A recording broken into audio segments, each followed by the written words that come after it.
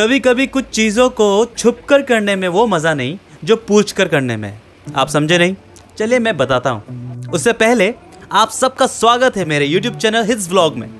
आज 22 जुलाई 2023 हमारी union all Arunachal Pradesh Gorkha welfare society in collaboration with Arunachal voluntary blood donor organisation ने एक ब्लड डोनेशन कैंप ऑर्गेनाइज किया। सो so, मैंने सबसे पहले इस विषय में छोटा सा ब्लॉग बनाने के लिए उन लोगों से परमिशन मांगा और देयर रेस्पॉन्स वाज ऑसम चलिए मैं दिखाता हूँ आप लोगों को।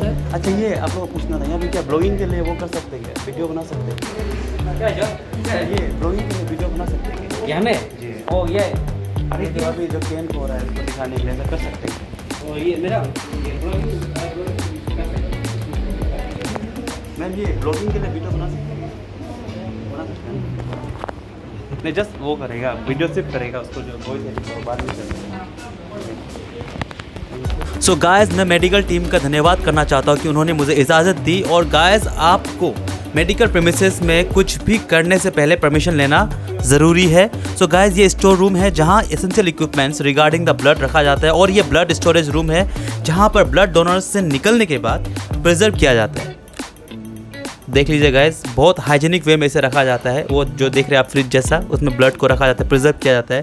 और ये एक लैब है टी टी वन लैब जहाँ पर इंपॉर्टेंट टेस्टिंग किया जाता है जैसे कि ब्लड को आइडेंटिफाई करना प्रेशर चेक करना ये सब यहाँ पर किया जाता है।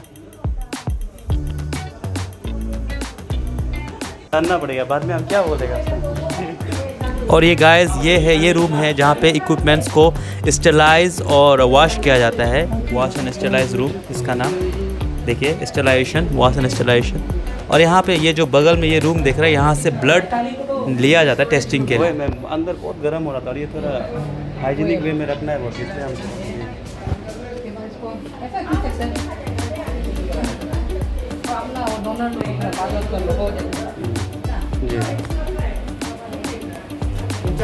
सो so गाइस ये जो काम है ये बहुत ह्यूमैनिटी के लिए बहुत बड़ा योगदान है क्योंकि अगर ब्लड बैंक में ब्लड ही ना हो तो इमरजेंसी में बहुत मुश्किल हो जाती है कभी कभी तो ये है डोनर रिफ्रेशमेंट रूम जहाँ पर डोनर्स आके रेस्ट करते हैं। तो ये देखिए ये लोगों को। इन लोगों ने सबने ब्लड दिया। इनके हाथों में आपको दिखाई दे रहा होगा बैंडेज एक्चुअली मैं भी देने वाला था मगर मुझे पता चला कि B positive more than enough हो चुका है और मेरा ब्लड ग्रुप जो है वो है बी पॉजिटिव तो गाइज़ ये है ऑफ़िस यहाँ पर डोनर के नाम पता एड्रेस जो भी है फलना जिससे कांटेक्ट किया जाए वो सब यहाँ पर लेते हैं और देखिए।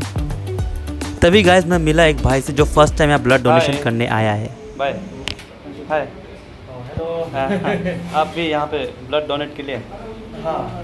तो कैसा फील हो रहा है आपको? अभी तक आपने दिया कि नहीं दिया? हाँ, अच्छा फील हो रहा है और चाहता है कि मतलब दे सकूँ। नॉर्मल रहे मेरा टेस्ट हो रहा है टेस्ट हो रहा है आपका? हाँ। कुछ नर्वस हो रहा है? Um, हाँ नर्वस तो हो रहा है फ़र्स्ट टाइम फ़र्स्ट टाइम चलो गॉड आपका हेल्प करेगा। आप गॉड के लिए इतना सर्विस दे रहा है। थैंक यू सो मच आपका नाम? Sonu Thapa. Okay A few moments later. Literally guys I can tell you ये भाई के दिल में जो चल रहा है ये मेरे साथ भी हो चुका है। जब मैं फ़र्स्ट टाइम ब्लड देने गया था आ, मेरा जो दोस्त था उसका रिलेटिव्स पासीघाट में at the time I was in college तो उस समय मैंने दिया था। सो so, डर लगता है फ़र्स्ट फ़र्स्ट टाइम में क्योंकि जो नीडल होता है वो भी सिंपल सा नहीं होता है बहुत बड़ा होता है। जो सिंपल सिरिंज ऐसा नहीं होता है बड़ा नीडल होता है। और जो नस हम लोगों का जो मेन नर्व्स मोटा वाला उसमें डाला जाता है। देखिए छोटा मोटा जो जिसमें नॉर्मल बीमारी में इंजेक्शन मारते हैं वो सब नहीं होता है। ब्लड की बात है। सो so, मैं इस भाई की डिटर्मिनेशन को दाद देता हूँ। सैल्यूट है भाई। And thank you so much पहले कभी दिया है? फ़र्स्ट टाइम ना? नर्वस हो रहा है? ठीक है। सो so गाइस ये जो ब्लड डोनेशन जैसा काम है, इसमें डरने का कुछ नहीं, सब कुछ एकदम मेडिकल टीम के देख रेख में होता है सेफ़ एंड साउंड बस वही है कि आपको पंद्रह मिनट का रिलैक्स करना ज़रूरी है वहाँ पर। तो यहाँ पर ये भाई ये भाई का ब्लड ग्रुप जो है वो ए पॉजिटिव और इससे पहले जो भाई दे रहा था, उनका था A B positive so guys देख लीजिए इन्हें।